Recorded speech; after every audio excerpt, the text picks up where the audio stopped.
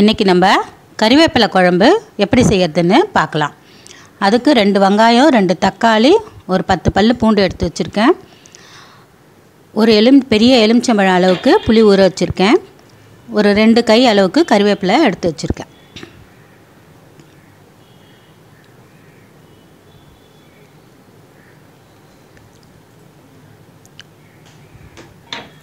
இப்போது அடுப்பில் ஒரு வானலியை வச்சுக்கலாம். எண்ணெய் ஒரு நாலு கரண்டி அளவுக்கு ஊற்றிக்கலாம் மிக்சியில் தக்காளி வெங்காயம் பூண்டு எல்லாத்தையும் அரைக்கலாம்.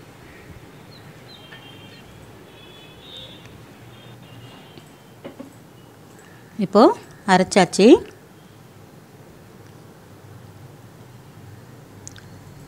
எண்ணெயில் கடுகு உளுத்தம்பருப்பு சீரகம் வெந்தயம்.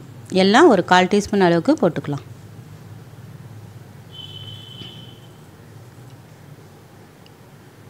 கடுகு பொரிஞ்சதும் அரைச்சி வச்சுருக்க அந்த வெங்காய தக்காளி விழுத போட்டு நல்லா வதக்கலாம்.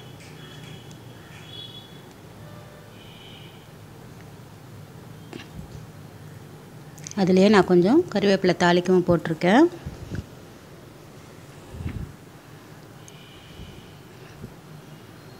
போட்டு நல்லா வதக்கலாம். ஒரு கடாயில் ஒரு கரண்டு எண்ணெய் ஊற்றி கருவேப்பிலையும் நல்லா வதக்கி எடுத்துக்கலாம். இப்போது கருவேப்பிலையும் வதக்கிட்டோம். அதை மிக்சியில் நல்லா அரைச்சிக்கலாம்.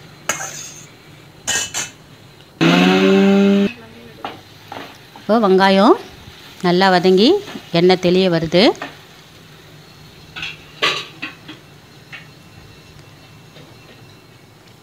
அதுலேயே அந்த கருவேப்பிலை அரைச்ச விழுதையும் அதுலேயே போட்டு நல்லா வதக்கலாம்.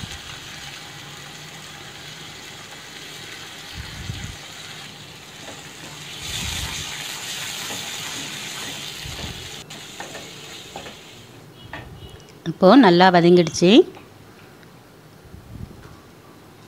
இதில் மஞ்சத்தூள் கால் டீஸ்பூன்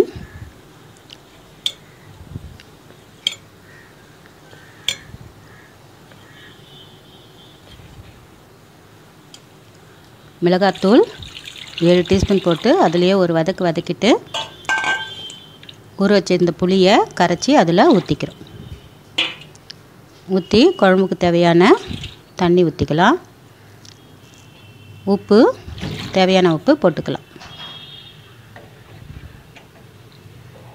போட்டு நல்லா கொதிக்க விடலாம். இப்போது குழம்பு நல்லா கொதித்து எண்ணெய் தெளிஞ்சு வருது. அது வரைக்கும் நல்லா கொதிக்க விடணும். இப்போ குழம்பு கொதிச்சிடுச்சு. அதில் சீரகத்தூள் ஆஃப் டீஸ்பூன் வெந்தயத்தூள் ஆஃப் டீஸ்பூன் சோம்புத்தூள் ஆஃப் டீஸ்பூன் மிளகுத்தூள் ஆஃப் டீஸ்பூன் போட்டிருக்கேன். கடைசியாக கருவேப்பிலை கொத்தமல்லியும் போட்டு ஒரு கொதி வந்ததும் வெல்லம் ஒரு சின்ன துண்டு அளவுக்கு போட்டு கொதிக்க விடலாம். நல்லா கலக்கிட்டு ஒரு கொதி வந்ததும் அடுப்பை நிறுத்திடலாம். இந்த குழம்பு உடம்புக்கு ரொம்ப நல்லது. கருவேப்பிலை இரும்பு சத்து மிக்க ஒரு பொருள். அதனால் நீங்களும் அடிக்கடி செய்து பாருங்கள்